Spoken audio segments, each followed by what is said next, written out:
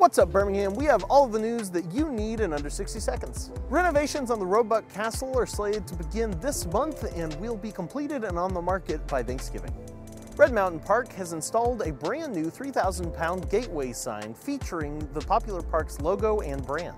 Birmingham-based company Shipt has officially partnered with Big Lots, now offering household essentials and furniture for delivery.